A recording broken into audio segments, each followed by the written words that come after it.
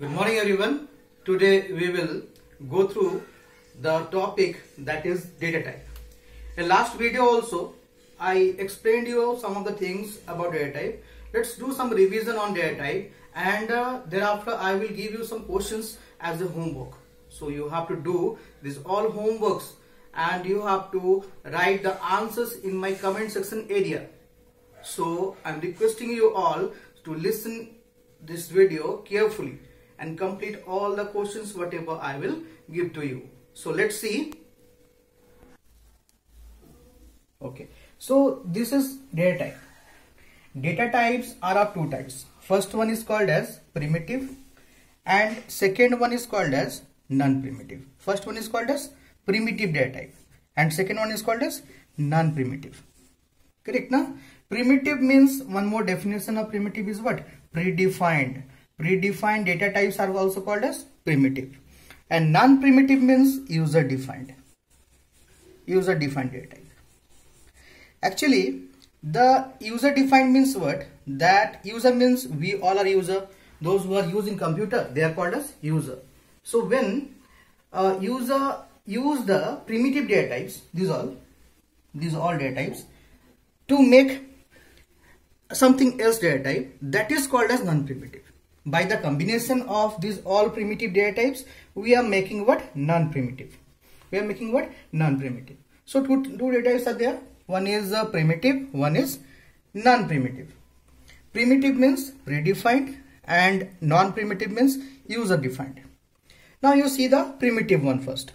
Primitives are of three sections. First one is numeric. You see N U M E R I C numeric. Third second one is what? Non numeric. And third one is what? Floating. First one is numeric, second one is non-numeric and third one is floating.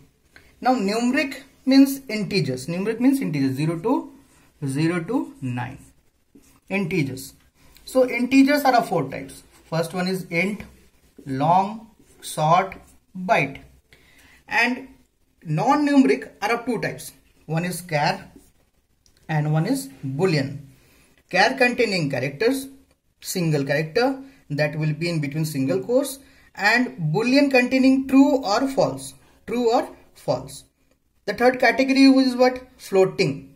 Floating means decimal value, fractional value that is of two types. First one is float and second one is double. Float and double. Float generally we are using for the small decimal value and double we are using for the big means a decimal value big numbers just like the 2.111111 like that and uh, fractional numbers we are using double. Okay now so this is the introduction about the data type. Now you see the non-primitive it's of three types. One is class one is string and one is array. So these all things we will discuss afterwards. Afterwards mean the uh, meaning is uh, we will learn these all things in class 10th correct now string you know string i will explain now but other things now we will i will explain you in class 10th now you have to learn these all things. So we will go through some of the examples. Let's see some of the examples and understand. Uh, so we will go through some of the examples. We will see that how to create different types of uh, variables, how to store different types of values and how to utilize the data types. Let's see some examples. First I am explaining you about int. So for example if I will write int, int, int a equals to if I will write 5. Now a is the variable name, a is what? The variable name 5 is what? 5 is the value. And int is what? Int is the data type. Ah, now explanation is what? That the variable a stores a data that is how much? 5 and this 5 is integer type. This 5 is coming in between 0 to 9. That's why this is int type, int correct now second example we will see. Second one is long. Long if I will write MOB is the variable name. Data type is long. Now long is used to store very big means uh, integer values. For example your mobile number your UID number these all things. So I'm storing one number. See how big number. It is not possible to store in integer so we need to make it is as long.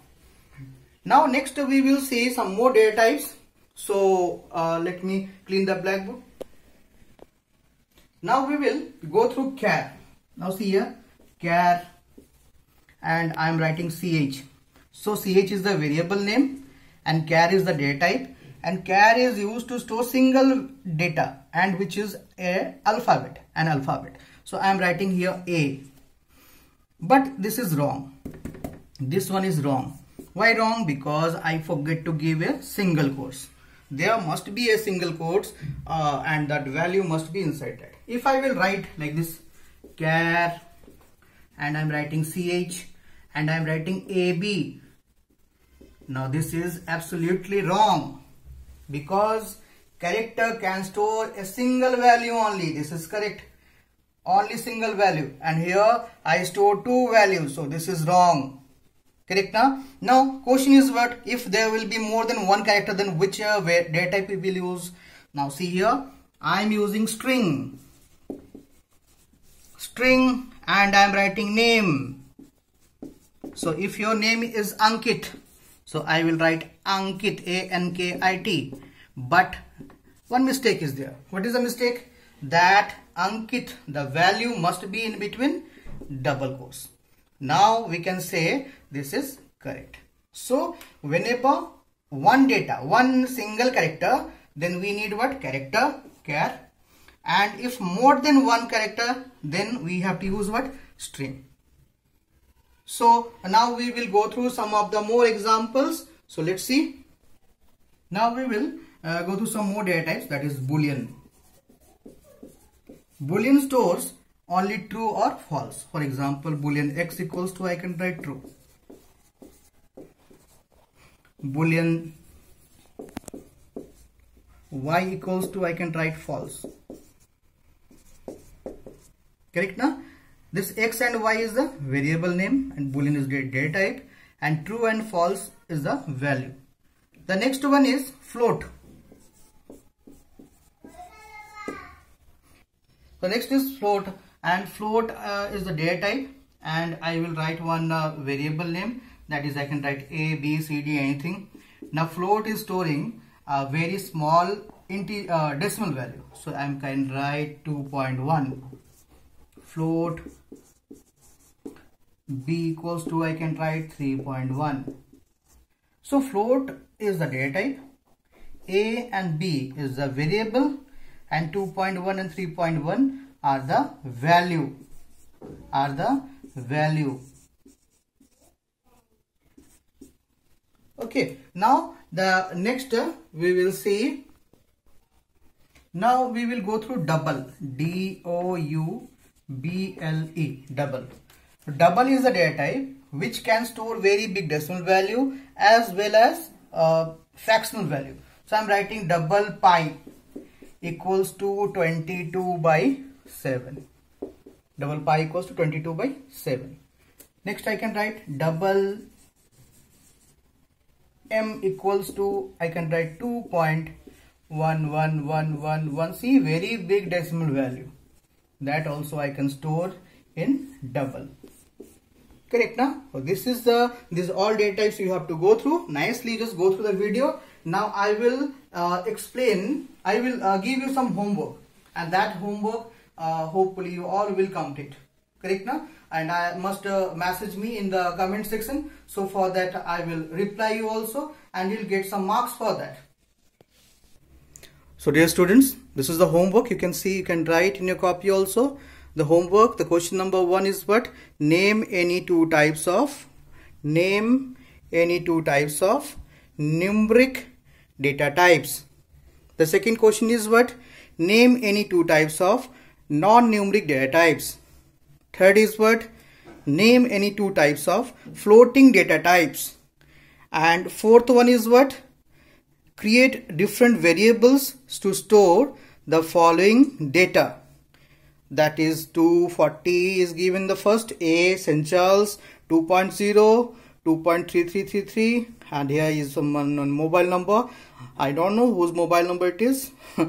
So uh, next is false and uh, one more is given. Uh, so you have to find out. This false is in between double quotes.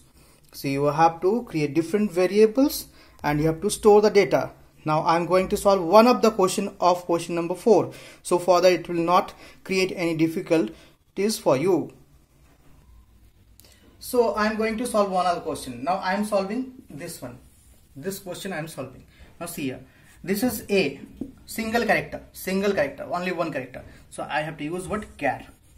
Char is the data type name. And uh, variable I can take anything. CH I am taking. And A is the value. Now see, this is wrong. This is what? Wrong. So how to make it correct? One limitation is there that single quotes not given by me. So single quotes. Correct now? So,